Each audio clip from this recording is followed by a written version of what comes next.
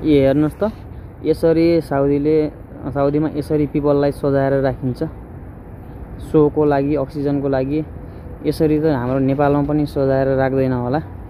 अनि यसरी तल तल फेदमा पानीको पाइप पानीबाट हाल्ने होइन साइडहरूमा कसैले पनि यसलाई टच नगरून् भन्नको लागि चाहिँ यसरी पर्खाल लगाएर यस्तो दामीको पिपलको रुख। हाम्रो नेपालमा यसलाई काटेर कस्तो गराउँथ्यो होला है?